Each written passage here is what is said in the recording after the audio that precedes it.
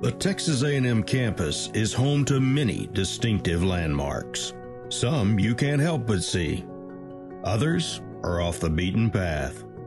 And a few places unforgettable. But there's one place you may not have heard about. A&M's best kept secret, the Nuclear Engineering and Science Center's crown jewel, the TRIGA Core Reactor, as innovative and unique as the university itself. History Howdy, I'm Johnny Hurtado, Interim Vice Chancellor and Dean of Engineering. This year, we're celebrating the 60th anniversary of our testing, research, isotopes, General Atomics Reactor, known as the TRIGA Reactor, at the Texas A&M University Nuclear Engineering and Science Center. This 1 megawatt reactor, which is the centerpiece of the Nuclear Engineering and Science Center, was first taken to a critical condition on December 18, 1961, and it's been an important research and teaching tool since. The Atoms for Peace speech by President Eisenhower in 1953 began a growth of nuclear energy in education as the 1950s saw university nuclear engineering programs opening across the country and world.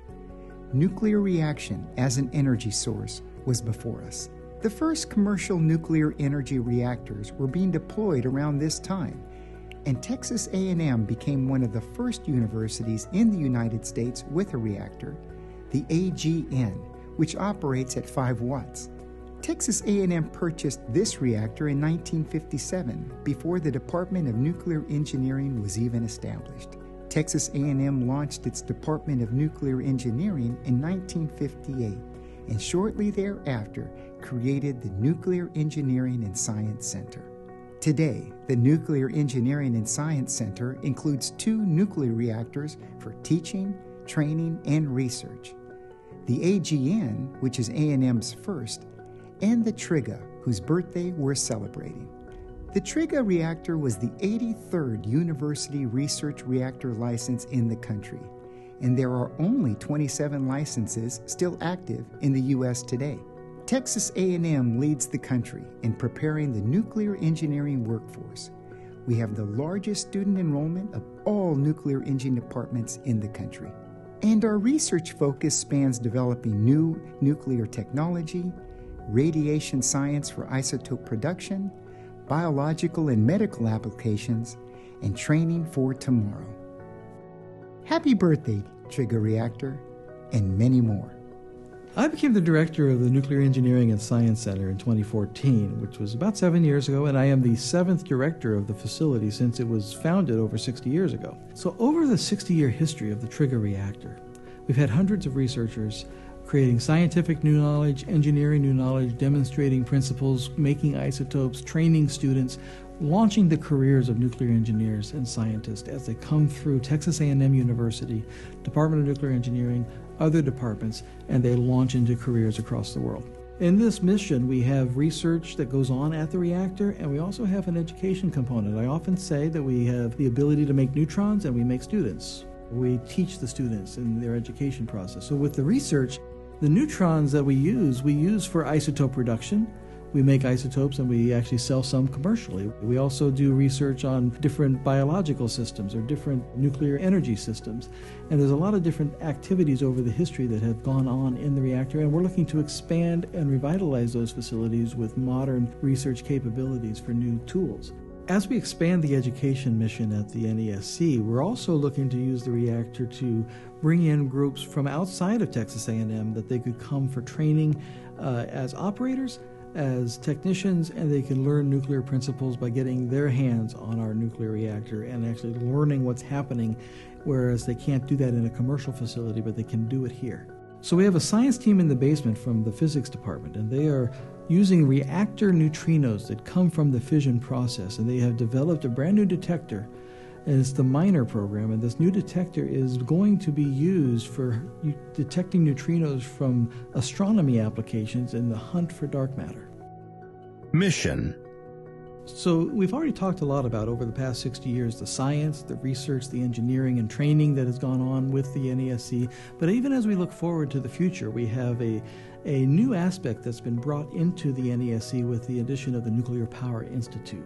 As part of these organizational changes, the Nuclear Power Institute was merged with the Nuclear Engineering and Science Center in 2019. This was a truly dynamic development for the centers, as it enabled the Nuclear Engineering and Science Center to have an outreach and education division. This allows the Nuclear Power Institute to expand its resources to further grow the mission of STEM education, workforce development, and outreach throughout the state of Texas.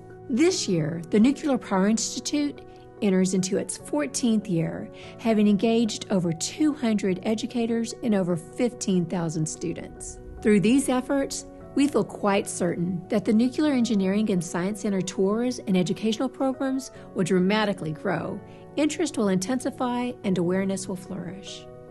The Nuclear Power Institute isn't a technical organization, rather, we're inspirational. We're inspirational because we bring about opportunities for students and educators to continue education, education in a way that they just can't get in a regular classroom. We bring our resources from higher education, from industry, and from national labs. We bring these resources together so that students and educators can feel, touch, and hear for themselves. What NPI does is it creates a network of engagement across the state of Texas between K 12 students and educators, higher education partners, and industry professionals. In addition to the reactors that we have at the Science Center, we also have our research labs to the side where we support the development of nuclear technologies. And we have our new counting lab that was just uh, established, and we have also some lab projects that are just beginning such as something we're doing with a private company with a NASA technology, and we're looking to develop novel power source for for space power systems or remote power systems. But really, over the last five years or so, there's been quite a bit of investment at the Science Center. A couple of different things have been going on. There was a reactor, the other reactor that we now have on site is called the AGN reactor. That was in the Zachry Engineering Building. And that was moved in 2016, and we have it to be rebuilt out at the Science Center. And as part of that, TEES invested up to somewhere around $6 million to upgrade the facility, where we've now got modern facilities and it, some of it's things that are more practical, like the American with Disabilities Act, so that we now have the ability to have anybody that wants to approach the reactors can now get in there. We have different facilities for that. Each year, the reactor supports three to four nuclear engineering classes for the university, along with classes from other colleges. We get many visits from middle and secondary schools that come to learn about the benefits of nuclear technology. For the training mission, 5 to 10 university students enter our operations training program each year. These students go on to become reactor operators and senior reactor operators licensed by the Nuclear Regulatory Commission. The nuclear engineering program at Texas A&M University is very unique. It is the only program in the nation that has two teaching reactors, the TRIGA and the AGN. We are very special in this regard because many of the other nuclear engineering programs in the country will have one reactor at best and some have none. Both reactors, the TRIGA and the AGN, offer all of our undergraduate students hands on experience in reactor operation. And I do want to emphasize all since the reactor operation training is required for graduation. These reactors, the TRIGA and the AGN, have benefited more than 1,000 students who later became nuclear engineers. For the past 10 years, there have been more than 600 students who were trained with the TRIGA. The experience with the AGN and TRIGA reactor is not limited to only taking courses for graduation.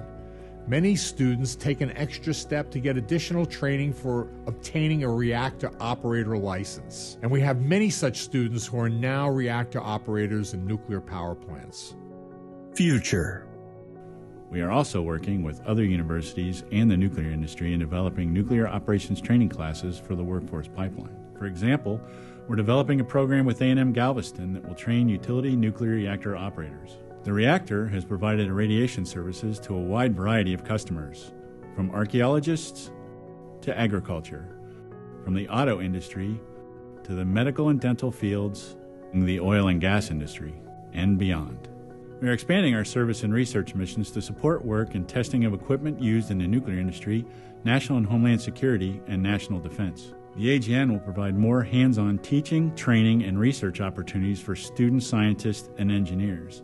This makes TEES and Texas A&M unique as the only university in the nation with two operating reactors. We continue to grow our customer base by performing new irradiation and testing services for electronics in severe environments. As we're celebrating the 60 years of operation for the TRIGA reactor, looking forward to the next 60 years, the things we're doing today are to prepare for the future as we're looking towards investing in nuclear technology, investing in infrastructure for the state of Texas as far as teaching and training, and we're just preparing to continue to be a fantastic facility as we go forward for the next 60 years. I'm Bill Magwood. I'm Director General of the OECD Nuclear Energy Agency. We're a multinational organization that advances cooperation among countries with, on nuclear technology. In that respect, one of the most important things we do is we focus on human capacity building. That's why I'm here at Texas A&M University one of the finest institutions in the world when it comes to educating young people into the nuclear sciences and technology. And I'm here particularly to celebrate the 60th anniversary of the TRIGA reactor here on campus. So for those of you from Texas A&M, congratulations on the 60th anniversary of this reactor and go Aggies.